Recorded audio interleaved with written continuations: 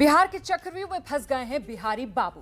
पश्चिम बंगाल में आसनसोल सीट पर कल उपचुनाव होना है और शत्रुघ्न सिन्हा यहाँ से टीएमसी के उम्मीदवार। अच्छा बिहारी बाबू को हराने के लिए बीजेपी ने यहाँ बिहारी चक्रव्यूह ही बना डाला। तो अब सवाल यह कि शॉटगन फंसेंगे या फिर इस चक्रव्यूह से निकल जाएँगे?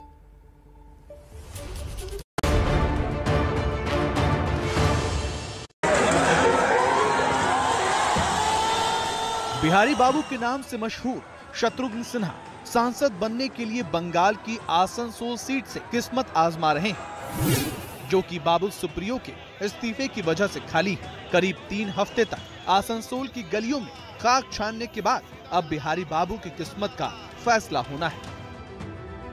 शत्रुघ्न सिन्हा, यानी बिहारी बाबू, आसनसोल से ममता बनर्जी की पार्टी, टीएमसी के उम्मीदवार हैं। और उन्हें घेरने के लिए बीजेपी ने चुनाव के आखिरी मौके पर बिहारी चक्रव्यूह तैयार किया था। और ये चक्रव्यूह के चार चेहरे हैं। टीवी स्क्रीन पर आपको इस वक्त बिहार से ताल्लुक रखने वाले चार बड़े नेता दिख रहे हैं और ये चारों बिहारी नेता, बिहारी बाबू, यानी शत्रुघ्न सिन्हा को संसद पहुँचने से रोकने के लिए आसनसोल पहुँचे थे। रविशंकर प्रसाद ने पटना साहिब में बिहारी बाबू को हराया था। अब आसनसोल में भी बीजेपी की जीत का दावा कर रहे हैं।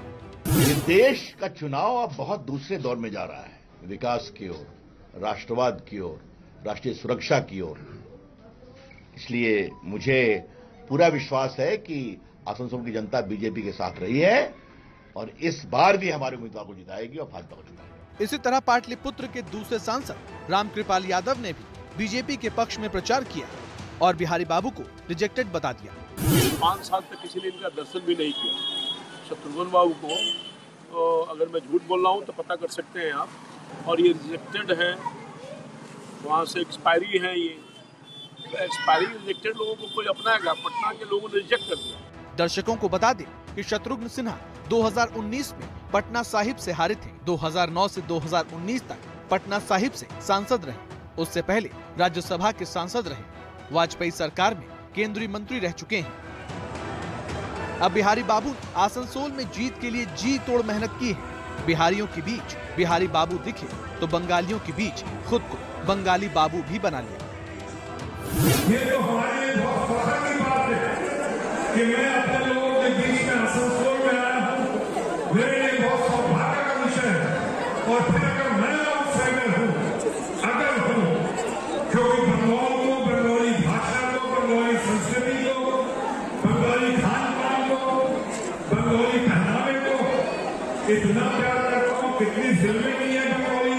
आसनसोल लोकसभा सीट के उपचुनाव के लिए शत्रुघ्न सिन्हा को उम्मीदवार बनाकर तृणमूल कांग्रेस सुप्रीमो ममता बनर्जी ने एक तीर से कई निशाने कर दिए हैं। पहला, वो बखूबी जानती हैं कि बिहारी बाहुल्य इस इलाके में अभी तक तृणमूल कांग्रेस कभी नहीं जीती है। ऐसे में ये दांव कितना सार्थक होगा, ये बड़ा दिलचस्प होगा देखना। तो वहीं दूसरी ओर, शत्रुघ्न सिन्हा के ज़रिए पार्टी का विस्तार बंगाल के बाहर अन्य राज्यों में भी किया जा सकता है। क्योंकि शत्रुघ्न सिन्हा की पहचान न सिर्फ़ एक नेता की बल्कि एक अभिनेता के तौर पे भी बहुत बड़ी है। बिहार के रहने वाले दिल्ली से सांसद और भोजपुरी गायक मनोज तिवारी कह रहे हैं शत्रुघ्न सिन्हा को बिहार ने नहीं अपनाया इसलिए अब वो बिहार के लाला नहीं रह गए। आप समझिए बिहार के लाला को बिहार ने भी नहीं अपनाया। तो वो अब बिहार के लाला नहीं है उस पर मुझे हँसी आ जाती है। मनोज तिवारी के इस बयान पर शत्रुघ्न सिन्हा कह रहे हैं कि जवाब आसनसोल की जनता देगी। कौन है ये? मनोज ओह अच्छा खैर। क्या उनके बारे में पूज्य शख्सियत को उनके बारे में टिप्पणी करना शोभा देगा क्या? शत्रुघ्न सिन्हा के खिलाफ बीजेपी ने जिन अग्निमित्रा पॉल को उतारा है वो आसनसोल नॉर्थ सीट से बीजेपी की विधायक है और महिला मोर्चा की प्रदेश अध्यक्ष रह चुकी हैं। पेशे से फ़ैशन डिज़ाइनर हैं, जो शत्रुघ्न सिन्हा को बाहरी और खुद को आसनसोल की बेटी बताती हैं।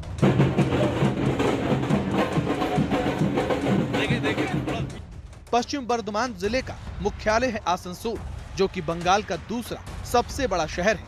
एक तो औद्योगिक इलाका है दूसरा झारखंड से सटा हुआ है।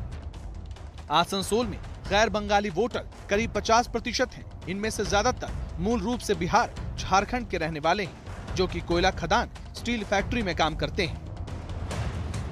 मतलब ये कि यहाँ गैर बंगाली वोटर जीत हार तय करने की ताकत रखते हैं। इसी दम पर दो बार से बीजेपी यहाँ जीतती रही है। मंगलवार को यहाँ वोटिंग और 16 अप्रैल को नतीजे आएँगे।